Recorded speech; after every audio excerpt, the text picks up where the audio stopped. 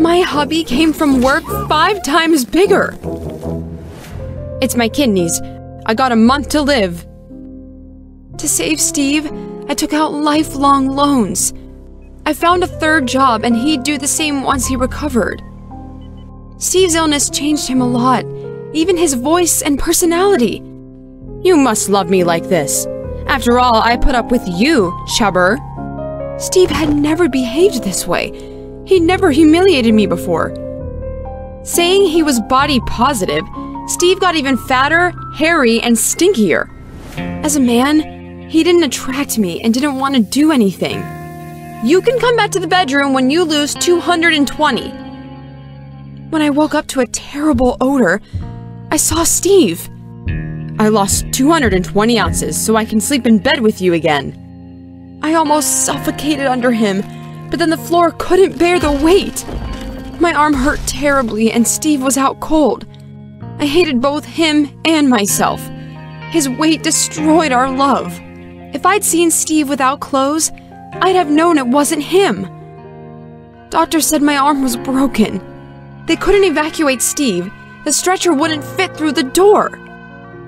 We need permission to tear down the wall. Our family nest was crumbling right in front of me. My marriage was ruined when Steve got obese. Both his legs were broken, so I couldn't leave him now. I spent days and nights at his bedside caring for him. But as soon as he got back on his feet, I'd file for divorce right away. I was tired of being a sitter and disgusted to touch him. Wipe me good and dry. I'm tired and want to sleep.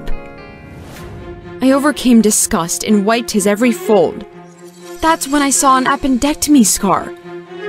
My husband had never had surgery. I called the cops. Let me go. I'm a poor, miserable orphan.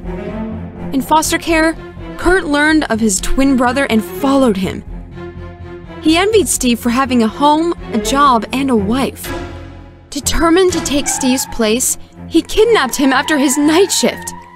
But after an accident, Steve lost his memory. Kurt then exchanged both IDs and lives with him. I cursed myself for falling out of love with my husband, and you were never him. I deserve a good life too, and I needed surgery. Destiny gave my brother everything while I worked as a janitor. It's not fair. There was a half ruined shack at Kurt's address. Steve wasn't there. The neighbor said he'd moved out.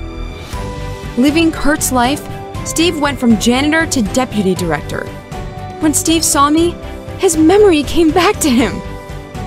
Kurt finally realized it wasn't all fate, but his laziness. Steve kept his new job and our marriage became stronger. Kurt is serving a fair sentence for fraud. Can laziness and self neglect be justified with body positivity?